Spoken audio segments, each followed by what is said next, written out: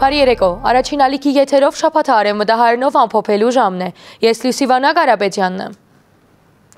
Ասկային ժողովի հերթական նիստը սկսավ ընդիմության խեցևջրով։ Հայաստան եւ Բադի Վունիմ խմբակցությունները նախ հայտարարեցին, որ այս շաբաթ պիտի չմասնակցին քննարկումներուն եւ քվեարկություններուն, ապա Տահլիջի մեջ ամբրացուցին Արցախի թրոշակներն ու հերացան։ Խորհրդարանի նախագահ Ալեն Սիմոնյանը Հայաստան եւ Բադի Վունիմ խմբակցություններու պատգամավորներուն գոչ ուղեց չաշխատելու, բայց pedagogan դարեհաշիվեն աշխատավարձ ստանալու փոխարեն վարթնել լիազորությունները։ Ասկային ժողովը շարք մնախակը ձեր քննարկեց առանց ընդդիմության։ Ասկային ժողովի հերթական նիստը սկսավ ընդդիմության խեցեվջրով Հայաստանի եւ Բադիվունիմ խմբակցությունները նախայդարարեցին, որ այս շաբաթ պիտի չմասնակցին քննարկումներուն եւ քվեարկություններուն, ապա տալիջի մեջ ամրացուցին Արցախի թրոշակներն ու հերացան։ Մենք մեկնում ենք Արցախ եւ Հայաստանի Հանրապետության սահմանամերձ մարզեր, որպես շարունակություն մեր հայրենակիցների հետ ամիջական շփման լինելու ենք այնտեղ, որտեղ որ այսօր մեր երկրի առաջնահերթ օրակարգն է եւ վերահաստատելով մեր դիրքորոշումը Հայաստանի Հանրապետության դրոշի արկայությամբ տեղադրում եմ Արցախի Հանրապետության դրոշը, պահպանենք այս դրոշը, քանզի պաշտպանելով Արցախը պաշտպանում ենք Հայաստանը։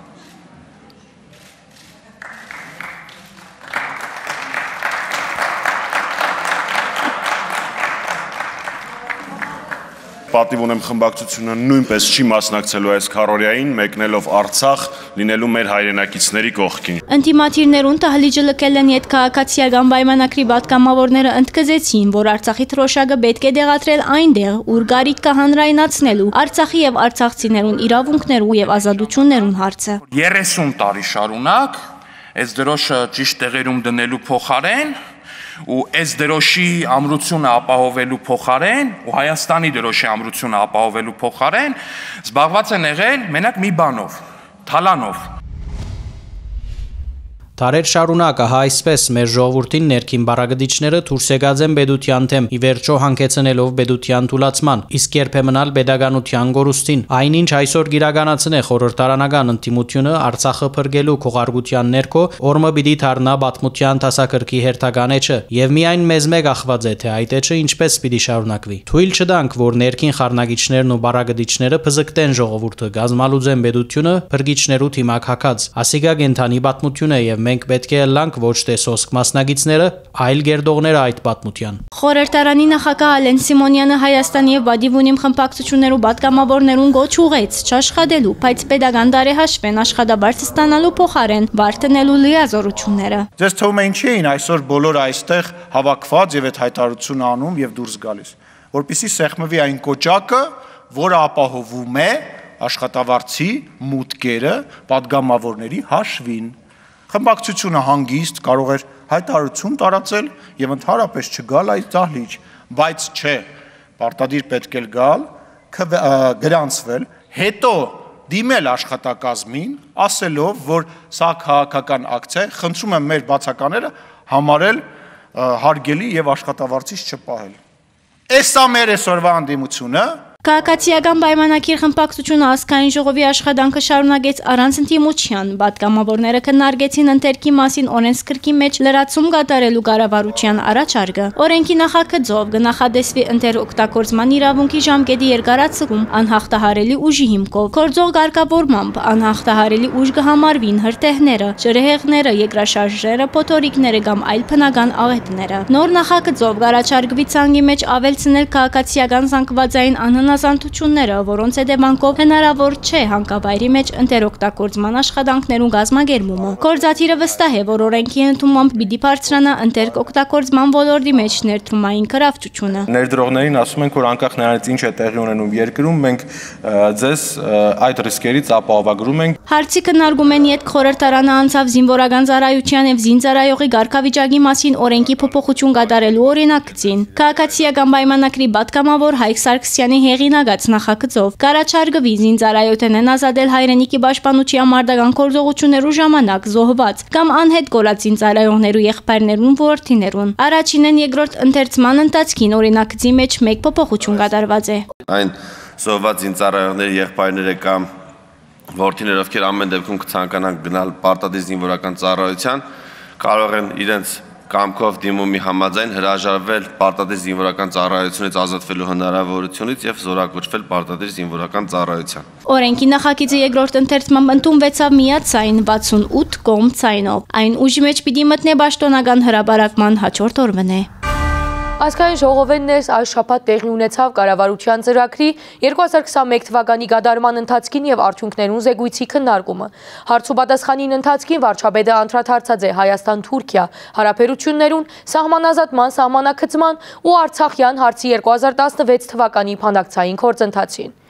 Փաշինյանի խոսքով 1998-ին իշխանապողություն տեղի ունեցավ այն պատճառով, որ այդ ժամանակահատվածին իշխանությունը կգտներ, թե Արցախի հարցը պետք է լուծվի փուլային տարբերակով։ Հակառակ թևը կգտներ, որ ճիշտը փաթեթային տարբերակն է։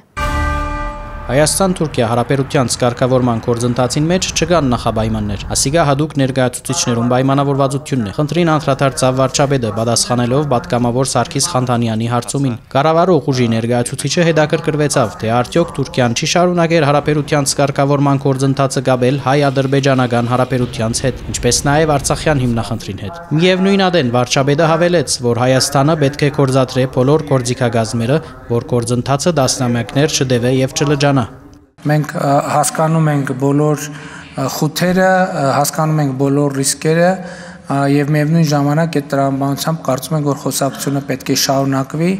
եւ խոսակցությունը պետք է իրոք դառնա երկխոսություն։ Սահմանազատումն ու սահմանակցումը երկարաժամկետ գործողություններ են, գրնան դարիներ դեվել։ Արդյոք կան մոդավոր հաշվարկներ, թե երբ կավարտի Հայաստանի եւ Ադրբեջանի միջև սահմանակցումը, եւ արդյոք կան կորձիկագազմեր, որոնք կգանխեն այդ ընթացքին հագարագորթին կողմե սատրանքներն ու արճակադումները։ Հետաքրքրվեցավ Սերգեյ Փակրադյանը։ Փորձագիտական գնահատական տալը շատ դժվար է, process-ը պետք է սկսվի եւ հնդածը սկերևա, բայց որ դա 1-2 օրվա, 1-2 ամսվա գործ չէ, դա կնհայտ է, որովհետև կան բազմաթիվ նյուանսներ, որոնք պետք է ճշգրտվել։ Իհարկե ես իմ զեկույցում ասացի, որ մենք հասկանում ենք նաև, որ Ադրբեջանը փորձում է ինչ որ ձևով ռազմական լարվածության իրավիճակը պահել սահմանի երկայնքով դեմարկացիայի գործընթացում Հայաստանի նկատմամբ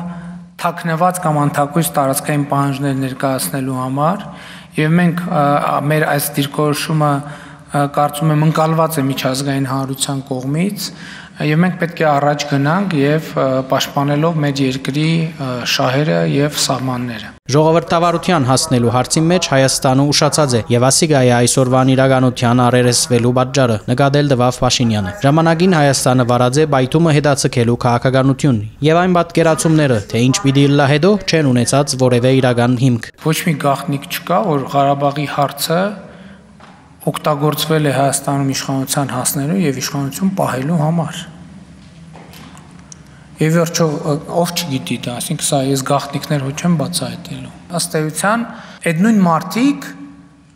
մտածեցին եւ ինչ այլոց պատերազմից առաջ էլ էր այդ իրենց պլանը, մտածեցին, որ Ղարաբաղի հարցով է պետք։ Որովհետեւ իրանք մի անգամ 98 թվականի Ղարաբաղի հարցով են դա արել, Հիմա էլ էլի ուզում են Ղարաբաղի հարցով անել։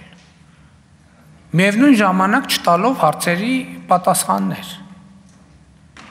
Եվ մենք մենք մենք էլի եմ ասում, ժողովրդավարություն նպատակ չի, ժողովրդավարությունը միջոց է։ Ժողովրդավարությունը միջոց է, որ որ երկիրը լինի մաքսիմալ մրցունակ։ Պատգամավոր Վահագն Ալեքսանյանը խնդրեց անգամ եւս ներկայացնել, թե փանակցային կորձընթացի մեջ ինչ տեղի ունեցած է 2016 թվականին։ Փաշինյանին խոսքով 1998-ին իշխանապողությունը տեղի ունեցած է այն պատճառով, որ այդ ժամանակվան իշխանությունը կգտներ, որ Արցախյան հարցը պետք է լուծվի փուլային դարբերակով։ Հագարակ թևը կգտներ, որ ճիշտը պաթեթային դարբերակն է։ Այն բանակցային թուղթը որը ես որպես վարչապետ իմ սեղանին դրված է, վերնագիրը եղել է հետեւյալը о первом этапе и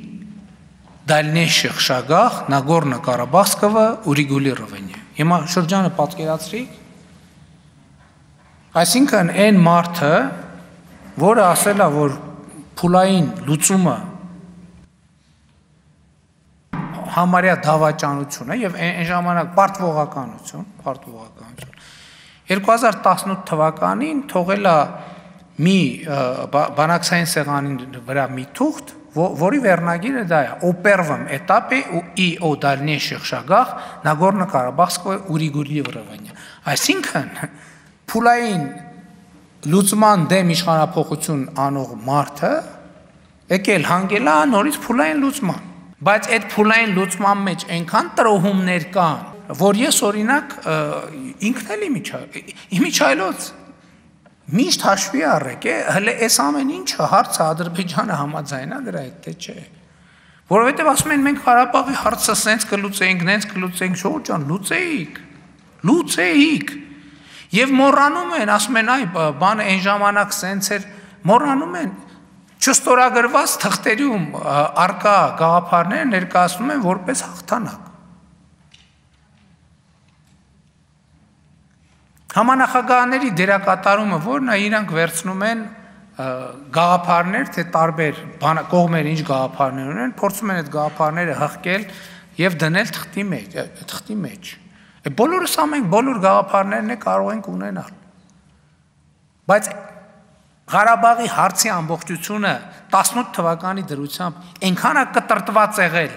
մանրամասների, ինքը փուլային տարբերակ չէր,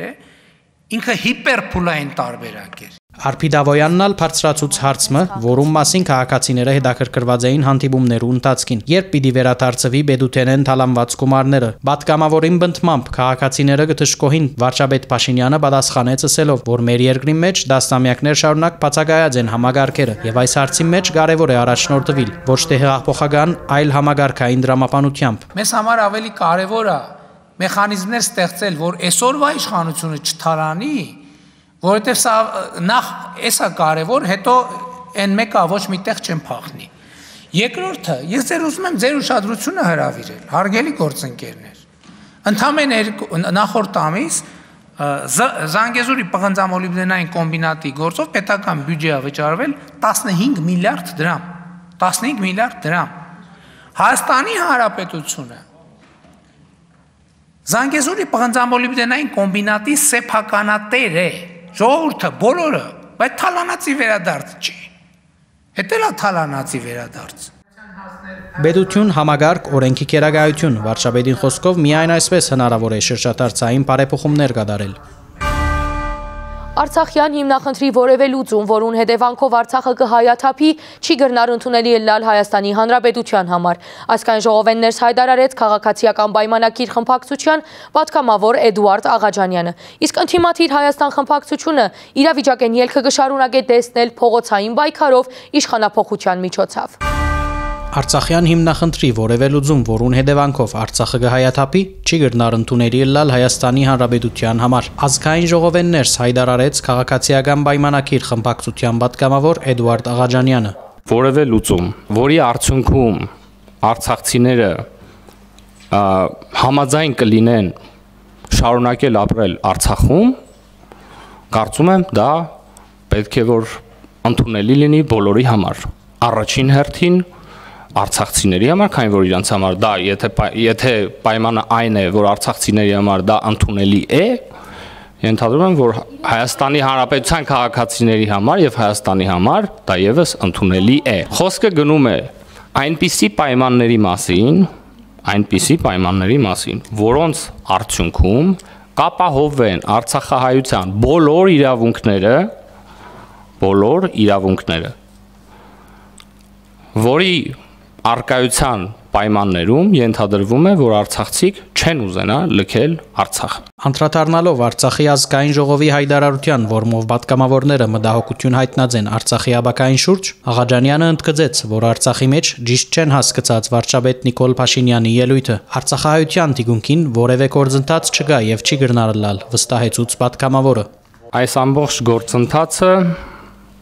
միտված է հենց արցախցիների, արցախայության իրավունքների պաշտպանությանը եւ դրանց իրացմանը։ Հայաստանի Հանրապետության համար Արցախյան հիմնախնդիրը երբևէ տարածքային վեճ չի եղել եւ եղել է ընդհակառակը արցախցիների արցախայության իրենց ծննդավայրում ապրելու անվտանգ ապրելու խնդիր, այսինքն իրավունքի իրացման խնդիր։ Եվ հետեւաբար մեր համար ըստ էության կարգավիճակը մշտապես եղել է միջոց ահա այս իրավունքները իրացնելու համար։ Եվ այստեղ ես ես ուղակի հավելելով կարծում եմ որևէ նորություն չկա եւ Հայաստանի Հանրապետության դիրքորոշումը այս հարցի վերաբերյալ մշտապես եղել է անփոփոխ։ Քաղաքացիական պայմանակիր խմբակցութենեն Վահագն Ալեքսանյանն ալ պատասխանեց Արցախի ղարքավիճակի եւ անկախության վերաբերյալ ընտիմության դիդարգումներուն։ Ան հիշեցուց, որ Հայաստանի երրորդ նախագահ Սերժ Սարգսյանի փանակցած որևէ փաստաթուղթի մեջ չէ եղած անկախություն բառը։ 2016 թվականին այսինքն վերջին փաստաթղթով, որը ներկայացվել է համանախագահների կողմից։ Այդ փաստաթուղթը որոշ փորձագետներ անվանում են Լավրովյան պլան, ռուսական կողմը դա անվանում է համանախագահների առաջարկ, անվանենք դա այդպես, որովհետև հենց այդպես էլ թղթի վերնագիրն է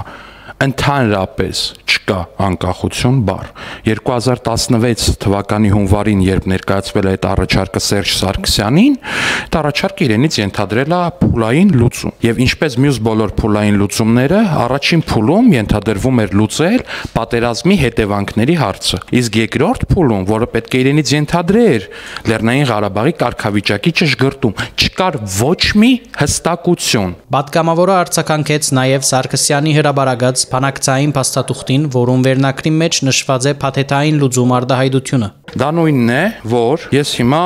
անում եմ այսպես։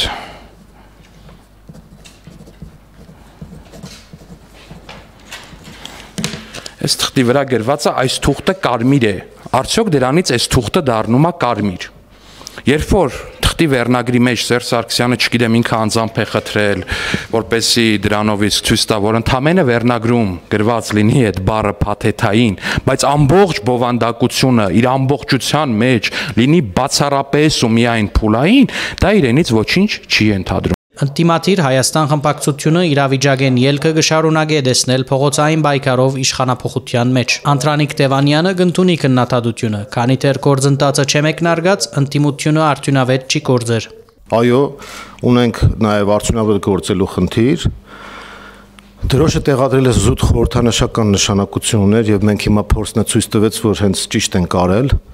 որովհետեւ դրանով մեսիջն ենք տվել եւ մեր ժողովրդին եւ ամբողջ աշխարհին Ինչ վերաբերում է քայլերին, այո, մենք պետք է կազմակերպվենք ճիշտ եւ այնպես անենք, որ արդյունք ունենանք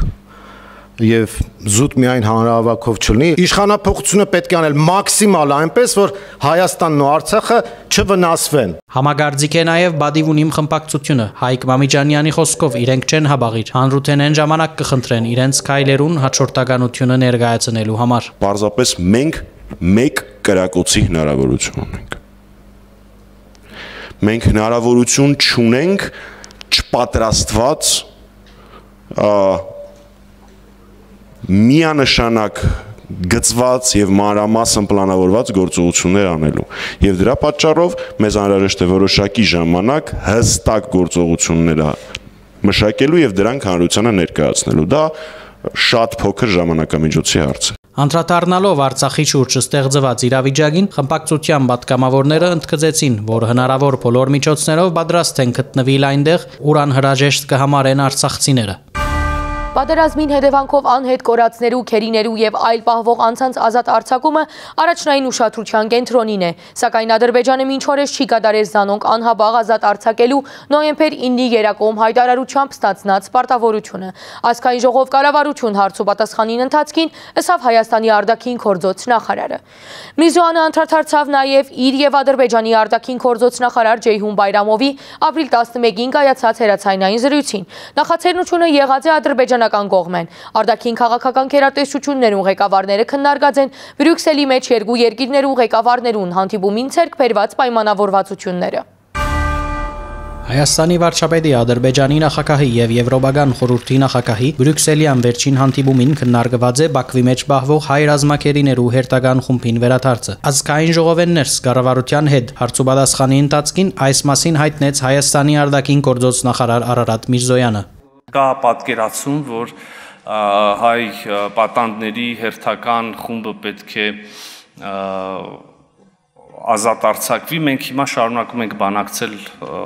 դրա շուրջ։ Պարոն Միրզոյան, խնդրում եմ։ Պատասխանելով քաղաքացիական պայմանակիր խմբակցութենեն Լիլիթ Կիրագոսյանի հարցումին նախարարը հավելեց, որ բادرազմին հետևանքով անհետ կորածներու, քերիներու եւ այլ բահվող անձանց ազատ արձակումը առաջնային ուշադրության կենտրոնին է։ Սակայն Ադրբեջանը մինչ օրս չի գադարեր Զանոնք անհաբաղ ազատ արձակելու նոյեմբերի 9-ի Երագոմ հայտարարությամբ ստանցնած բարդավորությունը։ Տարբեր պատրվակներ բերելով այնուհետև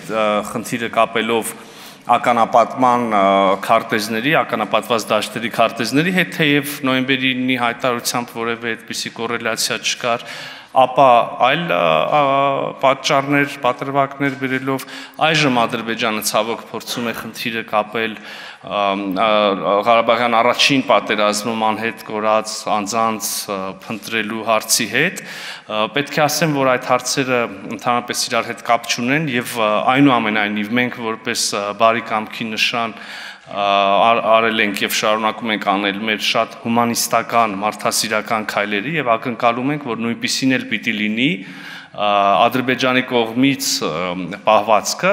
Միրզոյանը անդրադարձավ նաև իր եւ Ադրբեջանի արտաքին գործոս նախարար Ջեյհուն Բայրամովի ապրիլ 11-ին կայացած հերացայինային զրույցին։ Նախաձեռնությունը եղած է ադրբեջանական կողմէ։ Արտաքին քաղաքական քերադեսչությանց ղեկավարները քննարկած են Բրյուսելի մեջ երկու երկրներու ղեկավարներուն հանդիպումին ցերկ բերված պայմանավորվածությունները։ Այն է սահմանա զատման եւ սահմանային անվտանգության հարցերով հանձնաժողովի ստեղծման մեխանիզմները, ինչպես նաև Հայաստանի եւ Ադրբեջանի միջև կնքվելիք ենթադրյալ կարգավորման այդ պայմանագրին ուղված բանակցությունների մեկնարկի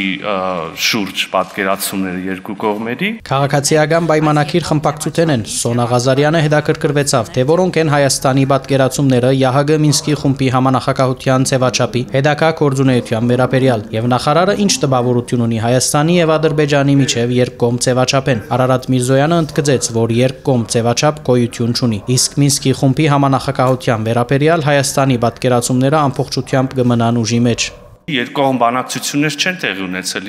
եղել է խոսակցություն բանակցությունների մեկնարկի մասին, ոչ թե բովանդակային բանակցություն։ Մենք տեսնում ենք Լեռնային Ղարաբաղի հակամարտության կարգավորումը ՀՀԿ Մինսկի համանախագահության ձևաչափում ըստ էության այն կոնֆերանսը, որը որով հիմնադրվել է այդ ձևաչափը, այդ կոնֆերանսի որոշումը ոչ ոք աշխարհում չի չեղարկել եւ այդ որոշումը ուժի մեջ է, Ցավոք սրտի գիտեք, որ համանախագահության, համանախագահող երկրների միջև հակասությունները այս պահին հայտնի պատճառներով այդքան բարենպաստ չեն, որպեսի նրանք երեքով կարողանան քննարկում կազմակերպել եւ մենք չենք կարող թույլ տալ, որ այդ առումով որևէ վակուում առաջանա։ Պատասխանելով պատգամավոր Վահագն Ալեքսանյանի հարցումին արտաքին գործոստնախարարը մանրամասնություններ հայտնեց նաեւ ապրիլ 12-ին դեղի ունեցածին շուրջ, երբ խորհրդարանի Հայաստան եւ Բադիվունիմ խմբակցությանց պատգամավորներուն չեր թույլատրված մուտք գործել Արցախ կապի մեջ ենք եղել եւ Լեռնային Ղարաբաղի իշխանությունների հետ եւ Ռուսաստանի Դաշնության իշխանությունների հետ բարձր մակարդակով մեր մեզ հավաստիացրել են, որ ազգային ժողովի падգաունների մուտքը Արցախ չի թույլատրվում սադրանքներից զերծ մնալու նկատառումներով Արարատ Միրզոյանը հավելեց, որ Հայաստանի քաղաքացիները առավել եւս ազգային ժողովի պատգամավորները պետք է անարգել մուտք ունենան Արցախ։ 2020 թվականի նոյեմբերի 9-ի Երագոմ հայտարարությամբ Պերծորի միջանցքով շարժի որևէ սահմանափակում նախադեсված չէ։ Ադրբեջանը պաշտոնապես կհաստատե 38 անցի քերևարումը։ Կարմիր խաչի ներկայացուցիչները այցելած են Բաքվի մեջ պահվող քերիներուն, տեսակցած են անոնց հետ։ Ծանոթացած են քերիներու պահման պայմաններուն, անոնց հանդեպ վերապերմունքին եւ առողջական վիճակին։ Գարմիր խաչի միջազգային կոմիտեի ներկայացուցիչները այցելած են Ադրբեջանի մեջ բահվո հայերուն, անոնք Գարմիր խաչի միջոցով գապ հաստատած են հարազատներուն հետ։ Հերախոսազանգերի, տեսագրված ուղերձների եւ նամակների տեսքով մենք փորձել ենք այս ընթացքում պահպանել բարբերականությունը մեր տեսակցությունների եւ դա շարունակելի է, քանի դեռ անձին գտնվում են անազատության մեջ։ Ադրբեջանը պաշտոնապես կհաստատե 38 անցիկ Երևանում մարտասիրական գարույց են տեսակցած են անոնց բոլորին։ Կերիներու բահման պայմաններուն անոնց անտեպ վերապերմունքի առողջական վիճակի մասին դեղեցությունները Գարմիր Խասը չի հրաբարագեր, նշելով, որ ադոնք փակ երկխոսության դիրույթի մեջ են։ Ամադունիի խոսքով հերթական այցելություններու նպատակն է հետևել այդ անցանց վիճակին։ 37-ի մասով կան ավարտված դատավարություններ եւ դատական ակտեր, մեկի մասով դեռևս նմանատիպ ակտ կայացված չէ։ Միեդի կողմից գործի քննարկումը ընթացքի մեջ է եւ մենք բնականաբար նոր զարգացումների սպասում ենք։ Միևնույն ժամանակ դեռևս ստանում ենք դիմումներ, որոնք առնչվում են անհետ կորածներին։ Այս միջադեպերով շարունակում ենք անհետ կորած գործընթացների վերաբերյալ դատական գործեր ներկայացնել Եվրոպական դատարանին։ Բրյուքսելի մեջ հանդիպումները ամփոփելով վարչապետ Փաշինյանը նշեց, որ Արցախյան երկու պատերազմներ են յետք, 985 անձի գտնվելու վայրը անհայտ է, 208-ը 44 օրյա 777-ը առաջին պատերազմն են։ Գշարունակվի անոնց ճակատագիրը բարձելուն ուղված աշխատանքը։ Կարմիր խաչի գոմիդեն գաչակցի կորձընթացին որպես մարտահրավերական միջնորդ գոմ այս ընթացքի մասնակցած է 350 կորձողության։ Հայաստանում։ Գաշխադին նաև պատերազմի հետևանքով անհետ կորած անցած ընտանիքներուն հետ քնահատելով գարիքները և 90-ականներից իրենց հարազատներին որոնող ընտանիքներ եւ 20 թվականից որոնող ընտանիքները այս գործընթացը սկսվել է եւ կարիքների գնահատման այստեղ կարող են շատ տարբեր հարցեր, բավականին մեծ հարցաշար է։ Մենք դրա արդյունքում պլանավորում ենք պատրաստել որոշակի վերլուծություն, ուսումնասիրություն եւ դրա հետ միասին առաջարկների փաթեթ, որոնք կքննարկվեն պատկան մարմինների հետ Հայաստանում։ Պաստապանական խումբն ունի եւս 80 անցի հնարավոր կերուչիան մասին հիմնավոր աբացույցներ։ Պատերազմը 1.5 տարի հետ կանոնց թիերը չեն հայտնաբերված։ Բնաթահամընկնումներ չունենք, ուստի նրանք շարունակում են մնալ որպես հիմնավոր գերեվարման դեպքեր, որոշակի մտահոգություններ կան բռնի անհետացման մասով, երբ ճակատագրերը անհայտ են դառնում, սակայն այս թիվը անփոփոխ է, նոր տեղեկություններ բացահայտված չեն։ Գործի քննության վաղ փուլին մեջ, թե Մարդու իրավունքներու Եվրոպական դատարանը, թե Լահայի դատարանը քերիները անհաբաղ ազատման միջոց են գիրարած։ Հայկական գոմը գագնգալ է, որ վերջնական դատական գործողությունները մի եթե պիտի արսանակրի այնտեղ բահբող դղոց ազատության իրավունքի խախտումը։ Դատաբարդումները պիտի կնահատե աբորինի եւ պիտի պահանջի անհաբաղ հայրենիք վերադարձնել Բաքվի մեջ բահվող բոլոր հայերը։ Պետության եւ Հայաստան համահայկական հիմնադրամի միջոցներով Արցախի մեջ նոր բնակավայրեր եւ թաղամասեր կգառուցվին։ Արցախի կառավարությունը խոստացած է 3 տարվան մեջ տանիքով ապահովել 44 օրյա պատերազմի հետևանքով բոլոր տեղահանվածները։ Աշխատանքի ծավալի պատճառով մասնակիցներ հրավիրված են Հայաստանեն։ Ստեփանագերցի խումբ մվարպետներալ այս տարի չեն մեկնած արտակնյա աշխատանքի։ Արցախի կառավարությունը խոստացած է 3 տարվա մեջ Դանիկով ապահովել 44 օրյա պատերազմի հետևանքով բոլոր տեղահանվածներուն։ Խոսքը 7000 բնակարանի մասին է։ Այս նպատակով Ստեփանագերդի եւ շրջաններու մեջ լայն թափով բնակարան շինչուն կընտանա։ Չնայած ես միշտ թերահավատ եմ, որ երբևէ բնակարանի խնդիրները կլուծվեն, ես կարծում եմ, որ դրանք մշտական հարցեր են, բայց գոնե տեղահանվածների մասով հիմնական լուծումները 3 տարի հետո տրված կլինեն եւ կարծում եմ դրանից հետո մենք պետք է լուրջ սոցիալական բնականաշինության անցնենք, որովհետեւ նախագահի ծրագրում էլ տարբեր երկարաժամկետ ծրագրերում էլ դրված է բոլոր ընտանիքներին տնով ապահովելու հարցը։ Բեդուչյան Հայաստան համահայկական հիմնադրամի եւ բարեգործական միջոցներով Արցախի մեջ նաեւ նոր բնակավայրեր եւ թաղամասեր կկառուցվին։ Դեղահանված ավետարանոց քյուրիմ համար Այկեստանի հարևանությամբ 254 բնակելի դուն կկառուցվի։ Արդեն ունենք գեոդեզական տված նշանակետեր մնացած տների վրա աշխատանքները սկսելու համար, բացի 254 տան գյուղը ունի նաև ադմինիստրատիվ թաղամաս։ Աշխատանքի ծավալով պայմանավորված մասնակետներ հրավիրված են Հայաստանեն, Ստեփանավանցի խումբը վարպետները այս տարի չեն մեկնած արդակնա աշխատանքի։ Լավ դիմավորեցին, լավ տեղ են տվել մնալու, բաղնիկով, ամեն ինչով, ու աշխատում ենք։ Շուշիի շրջանի Կարինդակ, Հադրուդի շրջանի Տրախտիկ եւ Ազող համայնքները պիտի հաստատվին Ասկերանի շրջանի Նորակյուղի վարչական տարածքին մեջ։ Իսկ ահա Ասկերանի շրջանի Սղնաղ, Չրաղացներ, Մատատաշեն եւ Մոշխմատ քյուղեր ու բնակիչները Աստղաշենի մեջ։ Յուրաքանչյուր ընտանիքը ըստ իր կազմի կունենա քառակուսի այսինքն տան քառակուսին համապատասխանելու ընտանիքի կազմին։ Իմ կարծիքով շատ հարմար տներ ելն։ Քիչ չեն տեպքերը, երբ Արցախի կառավարությունը երկրորդային շուգային բնակարան կքնե կամ դիրազուրկ դուները գնորոք է եւ գդարամատրե դղահանված ընտանիքներուն։ Տարածքային կառավարման եւ յենթագառուցվածքներու նախարարին խոսքով այս տարի 500 բնակարան պիտի քնեն այն քաղաքացիներեն, որոնք երկու եւ ավելի դուն ունին։ Ես այս ծրագիրը շատ եմ հավանում, որովհետեւ մեր այն համայնքները, որտեղ յոկ խնդիր ունենք բնակության ավելացման, բավականին հարցեր են լուծում, հատկապես առաջին պատերազմից ավերված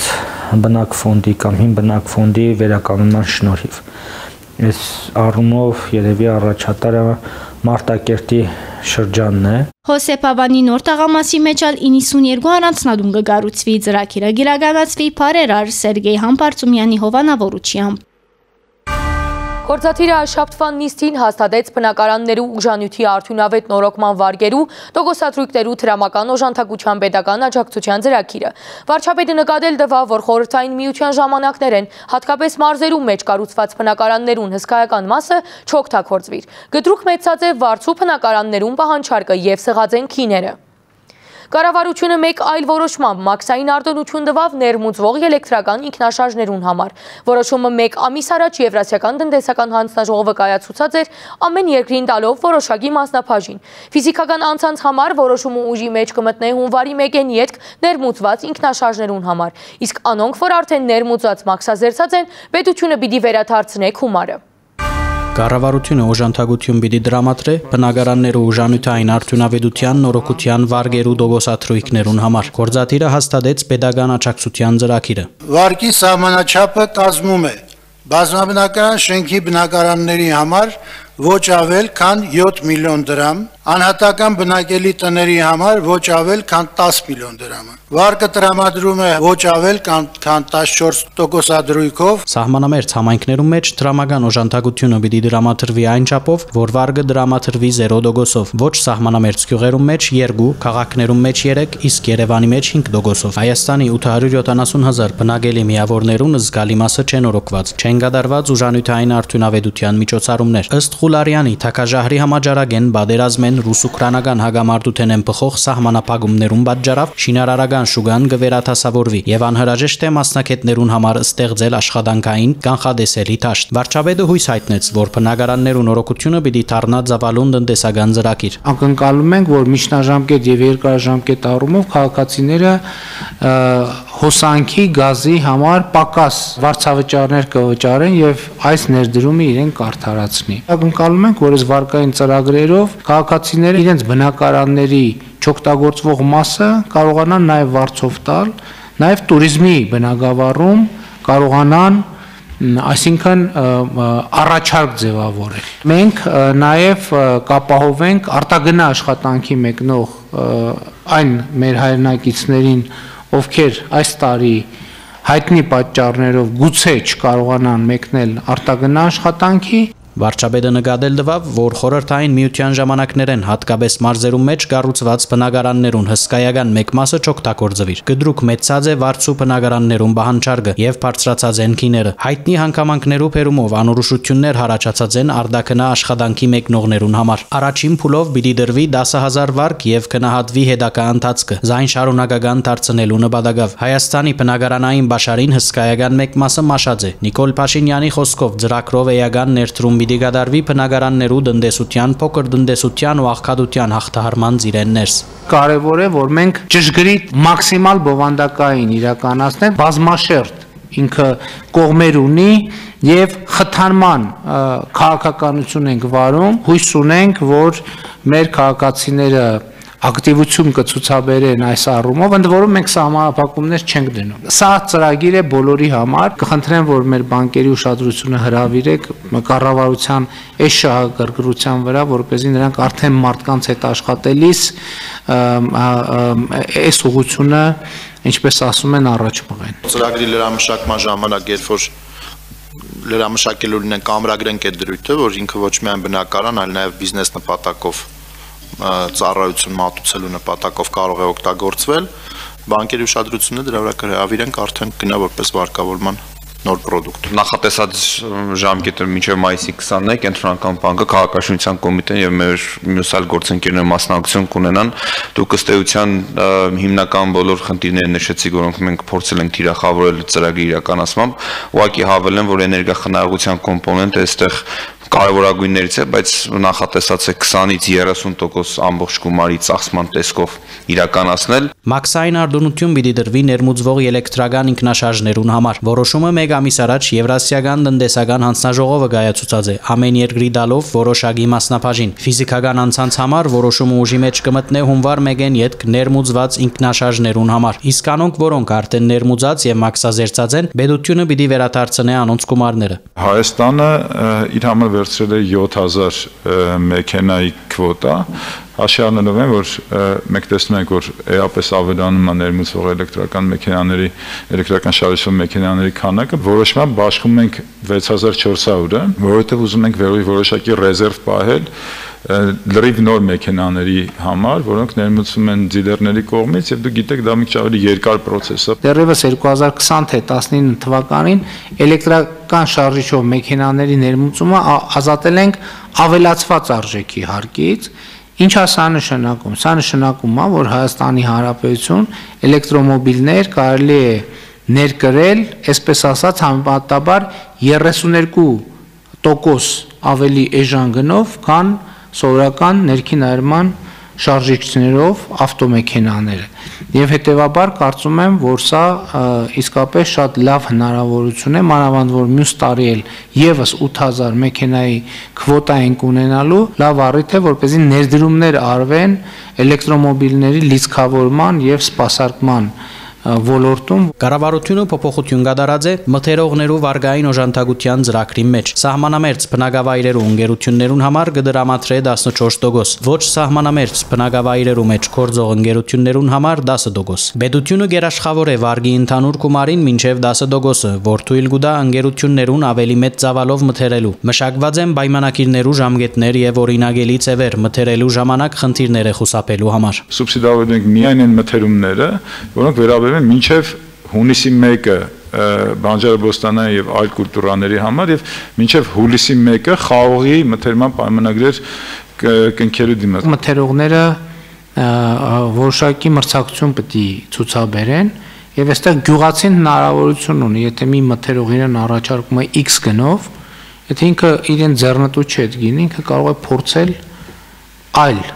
մթերողի հետ պայմանավորվել ավելի լավ գին Եվ հետեւաբար պայմանագիրը երբ որ կնքված է գյուղացու համար կանխատեսել է ինքը երբ ում ինչքան մթերք պետք է գյուղմթերք պետք է մատակարարի եւ դրա դիմաց ինչ պետք է ստանա։ Եւ այստեղ շատ կարեւոր է որ մենք որ մենք այո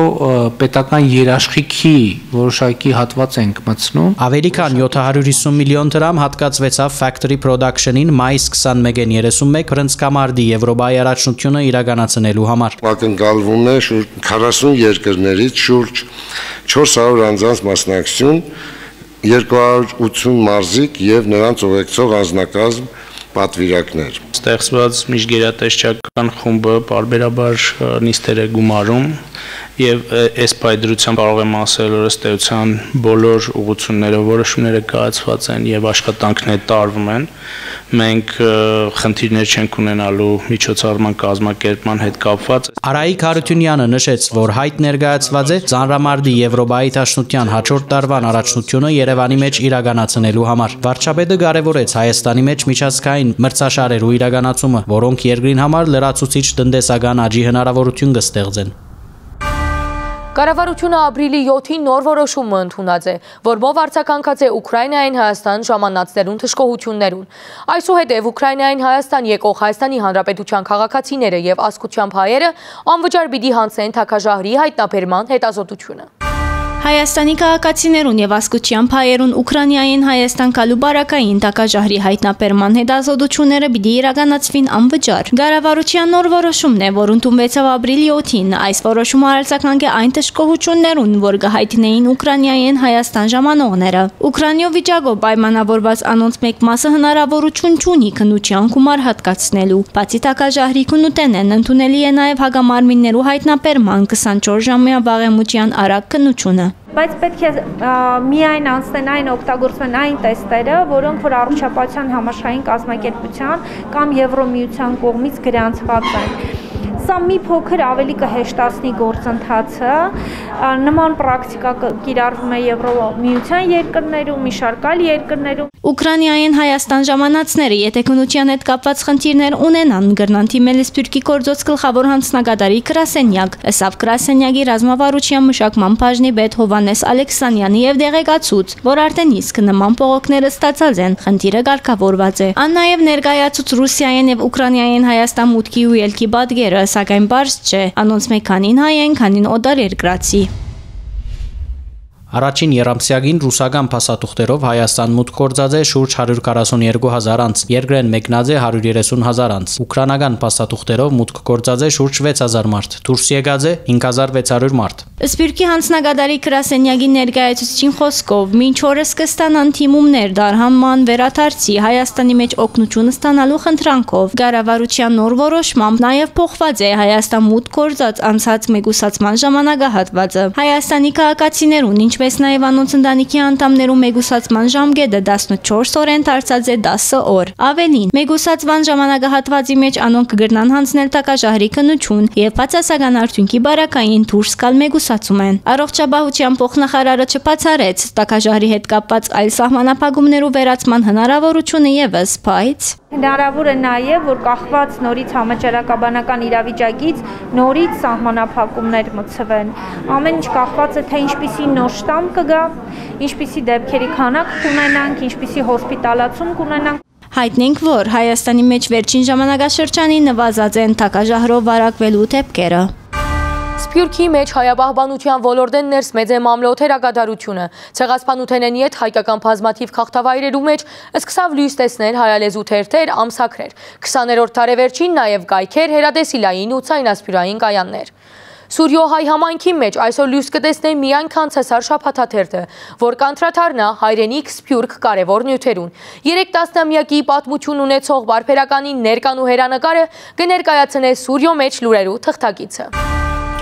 Թեև 20-րդ դարու սկիզբը նախաեղերնյան շրջանին Հալեբի մեջ հրադարակված են հայկական թերթեր եւ հետ եղերնի առաջին դարիներուն նույնիսկ լույս տեսած են հայկական օրաթերթեր եւ այլ բարբերականներ, սակայն վերջին տասնամյակներուն Սուրիահայ համայնքի միակ թերթը դարձավ Կանցասարը, որ այսօր 30 տարեկան է։ Սկիզբը ծնունդ արած է օշական բարբերաթերթը, Պերի հայոց սեմի որպես բաշտոնական փամփեր։ 1993-ին սկսած է լույս տեսնել բաշտոնապես որպես թերթ Կանցասար անունով որովհետև այդ տարիներում գիտեք Արցախյան պատերազմի տարիներն էին, մեր հաղթանակներն էին եւ որպես խորհրդանիշը մեր մշակույթի Արցախի Կանցասար վանքի անունը գրդված է թերթը 1992-93 տարիներում Պերիոհայոց թեմի անունով թերթ հրադարագելը անհրաժեշտություն դարձավ Կանցասարը Սուրիայության միակ հայկական թերթն է իր թեր անշուշտ քանի մը կարևոր հատկանշական թերագադարություն ունի Սուրիայության կյանքի մեջ առաջինը որ այն հայ հայադար հայերեն թերթն է որ գմտնե յուրաքանչյուր դուն անիկա գոչված է նաև գամուրջը անտիսանալու Սուրիայության եւ հայրենիքի միջև, ինչպես նաև Սուրիայության եւ Սփյուռքահայ աշխարհի միջև Կանսասարի մեջ լույս կտեսնեն թե սփյուռքահայ քրողներու, թե սուրի հայ քրողներու, թե հայրենի քրողներու հոդվածներ։ 2011-2017-ը Սուրյո բادرազմի ամենաձանր դարիներուն Կանսար շապաթաթերթը դարձավ համայնքի իրավիճակը արդացոլող միակ թերթը։ Հագարակ ապահովական, դնդեսական ու ծառայողական չափազանց ահավոր պայմաններուն թերթը անխափան լույս տեսավ դառնալով այդ ժամանակաշրջանի Սուրյահայ ցանկի պատմությունը սերդողներու հավաստի աղբյուրը։ Կանսասարը ունի մանկաբադանեգան բաժին քրական հավես հավելվածներ եւ յուրաքանչյուր դարվան սկիզբը նաեւ ապրիլ ամսուն լույս կնձայե բացարիք թիվեր։ Մենք կհետևենք արեմուդահայերենի մեսրոբյան ավանդական ուղակրության Մենք շատ զգուշ ենք ասկծով, որովհետև կանցասարը արեմուդահայերենի բահբանման ամենեն կարևոր աստակները մեկն է, որ գմտնի ամեն հայդուն եւ հայ դբրոց։ Օրե օր կբարձրանա արձերգրեն համացանցի ջամփով կանցասարի հետևորդներուն թիվը։ Կանցասար ունի նաև երկայքեչ 2005-ին վեր, Կանցասար գայքեչը մեր բադուհանն է բացող հայ աշխարհին։ Մենք հետևորդներ ունենք աշխարհի 4 կողմերեն, որոնք մեծապես հետաքրքրված են Սուրիահայ գաղութի, հատկապես Հալեբահայ մայր կաղուտի լուրերով։ Խմբակիրը շեշտացրեց թերթին առաքելությունը որպես մարդուժի պատրաստության թարփնոց, նշելով, որ խմբակրադան մեջ գա այն բարարտ հողը, ուր կարելի է պատրաստել ապակա քրողներ, լրակրողներ, մտավորականներ։ Անդրադառնալով Արցանց ու Դբաքիր մամուլի այսօրվա մրցակցային իրավիճակին, խմբակիրը կարևորեց Դբաքիրի դարբերակը բահելը։ Թեև այսօր Արցանց մամուլը քերագշրող է եւ և դբակիրը որոշ չափով դեղի դված է արցանց մամուլի դիմաց, սակայն Սուրիահայ մեր իրականության մեջ դակավին դբակիր մամուլը իր կարևորություն ունի երկու պատճառով։ Նախ որովհետև արխիվ է, Երկրորդ, որովհետև դբակիր մամուլի մեջ ես կարծեմ, որ աշխատանքը շատ ավելի բջախնդիր գլա, եւ մարդիկ կուզեն ունենալ շոշափելիորեն թերթ ունենալ իրենց ցերքին։ 2016-ին կանցարի այսօրվան խմբակիր Բողիկյան Զարմիկը Հայաստանի Հանրապետության նախագահական հրամանակրով բարգեւադրված է Մոսես Խորենացի մեդալով հայաբահբանման ասպարեզեն ներս իր ունեցած ներդրումին համար։ Կանցարը կդպվի ասկային դբարան արևելքի մեջ։ Շապատաթերթը իր 30-ամյա կորզնեության ընթացքին հաջողած է դառնալ միջին արևելքի հայ գգամ մամուլի կարևոր ներկայացուցիչները մեկը։ Մարիա Կապրիելյան, Բերջ Բողիկյան, Լուրեր Հալեբ։ Այս շաբթվան համար մենք պատրաստած էինք այսքանը։ Շարունակեցեք հետևել առաջին ալիքին մինչ մյուս շաբաթ։